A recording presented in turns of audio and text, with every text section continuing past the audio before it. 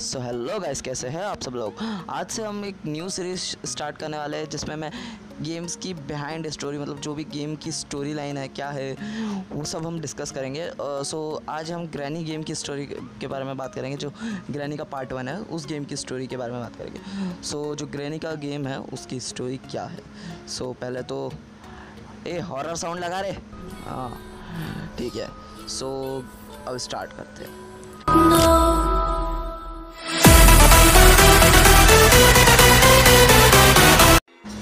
Game की जो story है वो शुरू होती है घर में। जो घर है वो है जंगल में। और इस घर में रहते हैं चार लोग मतलब एक चार लोगों का एक परिवार रहता है। सो so, इसमें रहता है स्लैंड्रिना स्लैंड्रिना चाची रहती है।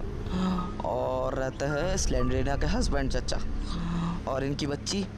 और रहती है हमारी दादी अम्मा। सो so, इन सब में जो स्लैंड्रिना है वो उनकी बच्ची और दादी अम्मा ये सब रहते हैं घर पर और जाते हैं स्लैंड्रिना के हस्बैंड बाहर काम से। भैया पैसा वैसा चाहिए काम वाम करना पड़ेगा। नहीं तो फिर ऐसे फोकट में का, क्या? हाँ सो ग्रैनी के सॉरी स्लैंड्रिना के हस्बैंड जाते हैं बाहर। सो जब वो, वो बाहर जाते हैं और जो स्लैंड्रिना है वो है ख़तरनाक खतरनाक है बहुत। वो है करती है काला जादू ब्लैक मैजिक और वो ब्लैक मैजिक से है ना, काली शक्तियाँ पाना चाहती है सो वो काला जादू करती है और एक दिन उसके हाथ लगती है, काला जादू की एक बहुत ही खतरनाक किताब। तो उस किताब को जब वो खोलती है तो उसमें उसको मिलते हैं कुछ तरीके। काली शक्तियाँ पाने के कुछ तरीके मिलते हैं। तो वो काली शक्तियाँ पाने के लिए आ, उसमें पढ़ती है तो उसमें पता चलता है कि उसको मारना पड़ेगा मतलब उसको लेनी पड़ेगी एक छोटी बच्ची की बलि। तो वो इसके लिए अपनी बच्ची की बलि दे देती है जो उसके घर घर के नीचे बेसमेंट रहता है वहाँ पर एक कॉली कुलेटैन करके जो हथियार रहता है वो में उसकी बेटी की बलि चढ़ा देती है। और ये सब हमारी दादी अम्मा देखती है। और हाँ दादी अम्मा और जो हमारी छोटी बच्ची, प्यारी बच्ची क्यूट बच्ची स्लेंड्रीना की, वो और ग्रैनी बहुत अच्छे रिलेशंस थे उनके। और स्लेंड्रीना उसको मार देती है। है? स्लेंड्रीना की अपनी बच्ची को। और उसके बाद जो स्लेंड्रीना को काली शक्तियाँ मिल जाती है और वो काली शक्तियों के मिलने के बाद क्रैनी को कैद करके रखती है। हाँ? और क्रैनी को कैद करके रखने के बाद अपनी काली शक्तियों का उपयोग करती है और फिर फिर ग्रैनी वहीं पर रह, पड़े पड़े, बीमार पड़ जाती है और मतलब एकदम मौत को होने वाली रहती है। उत्ते में आती है हमारी स्लेंड्रिना की बच्ची की आत्मा और वो दे देती है ग्रैनी को कुछ अद्भुत शक्तियाँ, अद्भुत, एकदम अद्भुत शक्तियाँ दे देती है, जिससे कि ग्रैनी थोड़ी सी ग्रैनी हो जाती है, एकदम ओपी बैडस बन जाती है, एकदम ख़तरनाक।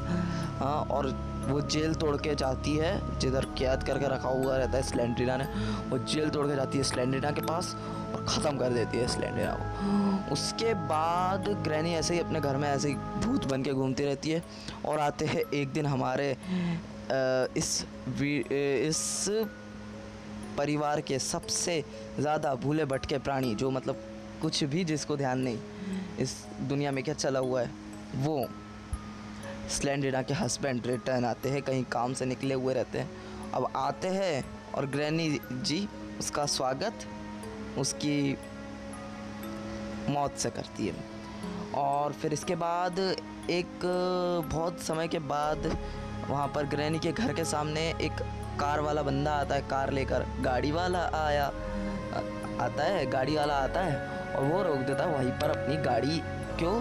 क्योंकि उसकी गाड़ी हो जाती है वहीं पर ख़राब। इसलिए रोकता है वहाँ। उसका कोई शौक नहीं है कि ग्रहणी के इतने ख़तरनाक घर के सामने रोकेगा। उसकी गलती से रुकती है। और फिर वो जाता है अंदर हेल्प लेने, और अंदर जाते के साथ दादी अम्मा उसको कर देती है ख़त्म। ख़त्म तो नहीं करती, बेहोश। किससे। उसके डंडे से, हा हा हा। और फिर दादी अम्मा उसको ख़त्म तो कर देती है, उसके बाद क्या करेगी? उसको लेके जाती है बेडरूम में पटक देती है, और वो जैसे ही उठता है, वहाँ पर देखता है फाइव डेज़ तो मतलब पाँच दिन रहते हैं उसके पास, वहाँ से निकलने के लिए, वहाँ पर लिखा रहता है। अब वो क्या करेगा पाँच दिन में? तो वो जाता है ग्रैनी के घर में, घूमता है, ढूंढता है सारे तरीके कि वो घर से कैसे निकलेगा। और वो सब तरीके वरीके करके चार दिन बीत जाते हैं। ऐसे ही। और चार दिन बीतने के बाद चौथे दिन दिन वो एक लेटर लिख के रख देता है उस घर में ताकि क्योंकि उसको लगता है कि वो तो मर जाएगा और वो मर ही जाता है। उसके बाद उसके बाद उसके बाद कुछ समय बाद आता है हमारा एक और कैरेक्टर वहीं आता है उसी जगह पर वापस और वो भी अंदर जाता है क्योंकि उसकी भी गाड़ी ख़राब हो गई थी। फिर वो भी हेल्प मांगने अंदर जाता है और अंदर वापस वही होता है ग्रैनी डंडा मार देती है और वो सो जाता है उसको वो बेहोश हो जाता है और ग्रैनी उसको बेडरूम में सुला देती है और वो कौन है? कौन है ये बंदा? कोई और नहीं। मैं हूँ, तुम हो जो जो गेम खेल रहा है, वो है। ओके सो ये है ग्रैनी की बेसिकली स्टोरी और अगर आपको ये वीडियो अच्छी लग रही है तो लाइक कीजिए। और आ, क्या मैं इस सीरीज़ को कंटिन्यू करूँ? उस बारे में कमेंट करिए। और और भी आइडियाज़ बताइए और भी गेम्स की बताइए नाम जिसकी मैं स्टोरी लाइन कवर करूँ। और मेरे चैनल को सब्सक्राइब भी करिए और शेयर करिए अपने दोस्तों के साथ और कमेंट तो ऐसे ही कमेंट सेक्शन तो भर ही देना। सो so, मिलता हूँ आपसे नेक्स्ट वीडियो में। तब तक के लिए bye bye tata see you Thank you.